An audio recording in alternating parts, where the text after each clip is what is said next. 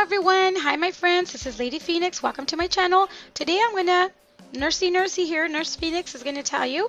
Well, I am a registered nurse, but I have my stethoscope on because I'm going to talk a little bit about love. And it's not the typical love that you guys know about.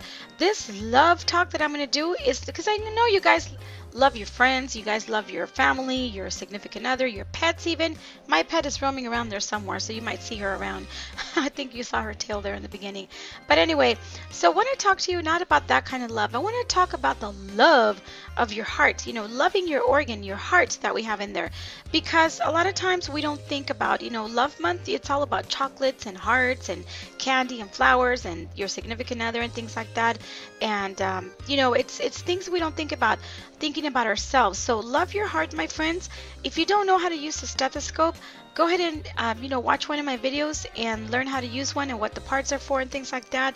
Um, you know, buy yourself a stethoscope. They're not very expensive. I think the cheapest one is like maybe 13, 15 bucks or something like that. And the ones I usually typically buy are like 20 something dollars. So, but anyway, like this one, I don't usually spend much on the other ones that are, you know, but anyway, that's a different video that I have.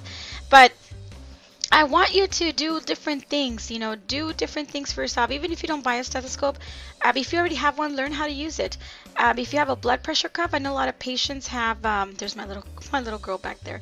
Um, a lot of patients, um, they buy the blood pressure machines, the electronic gadgets from the, from the pharmacist and from the pharmacies but I don't really care for those much. I like the old-fashioned ones but you know it is something to have and something to give you an idea. Um, a lot of times in my family I have people that have high blood pressure and I ask them well what was your last blood pressure? And they don't even know that. So at least know your blood pressure this month. What is it? And you know you don't even have to know what the numbers mean. But a lot of times, you know, get involved into knowing what the numbers mean because a lot of times I notice a lot of people go around knowing their top number and they don't know their bottom number of blood pressure. And that's one of the important ones to really know. So, um, you know, in case an emergency were to happen, you at least can tell medical personnel what your last blood pressure was and then, you know, you can go from there. But, you know, give some kind of history, some kind of information. So know those things, my friend. That's your health. You want to be involved in that. Um, the other thing that I actually have... Um, not done myself that I'm guilty of, and I'm really we're the worst patients in the medical field. You know, doctors, nurses, we're the worst patients ever because we, you know, take care of a lot of uh, patients and do it really well, but not for ourselves. So that's another area I have to work on myself because I haven't gone to the doctor for probably two years, so I definitely have to go to the doctor, have my checkup done, check my heart out. Because I have, you know, been getting a little twinges here and there in my um, heart area, so I definitely need to get myself checked. So not only that, but take a look at another tip is take a look at your salt intake. You know, I was surprised and shocked actually, shocked the hell out of me when I realized how much salt we were using.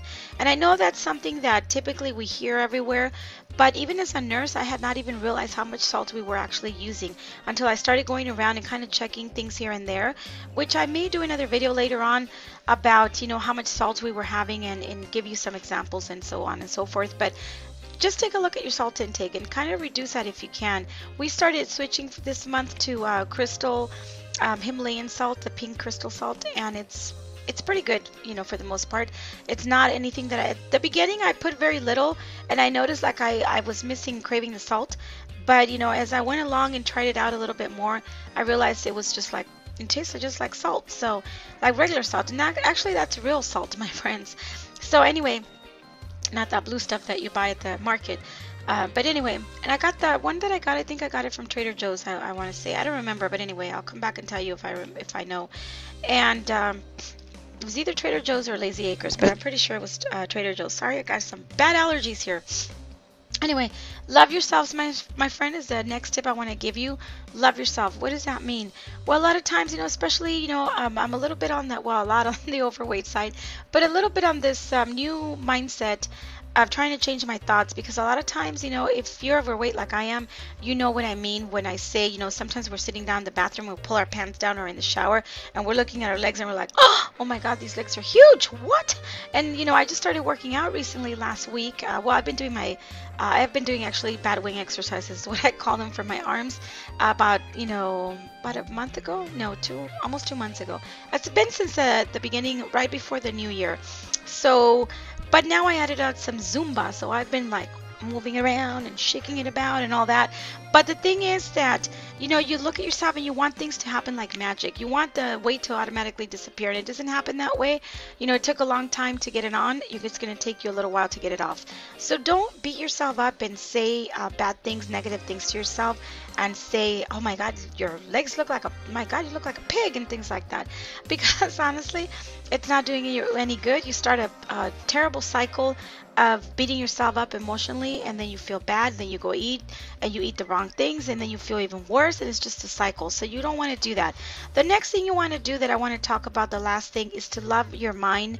In loving yourself love your mind and what i mean by that is not only love it but exercise it just like we love our heart and we think about things to reduce our salt and maybe taking the stairs and some kind of physical exercise, we want to do the same thing with our brains. We want to exercise it, not just in feeling good and saying, ooh, so let's relax, you know, let's um, get our emotional well-being going. We also want to get your mind exercised because if you guys know about Alzheimer's out there, you know the disease where you you know people forget who their relatives are. They forget, you know, they will pull a toothbrush and start combing their hair instead of a hairbrush because you know their their their mind is you know they're going into Alzheimer's. So you want to prevent those kind of things by exercising not just your body but your mind.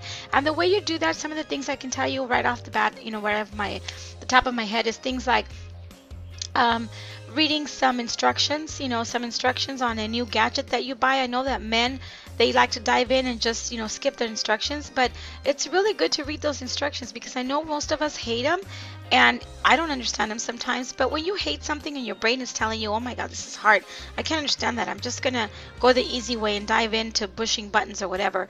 That's the easy way out because you're not exercising your brain. So you want to exercise your brain by actually taking those steps to read that insert or even a um, I don't know medication insert and stuff. Those are hard words for regular people to understand. So do something that's hard for your brain. Um, you can do the biggest way too um, that I've heard psychologists say is that you want to learn a new language. You know, learning a new language definitely exercises that brain.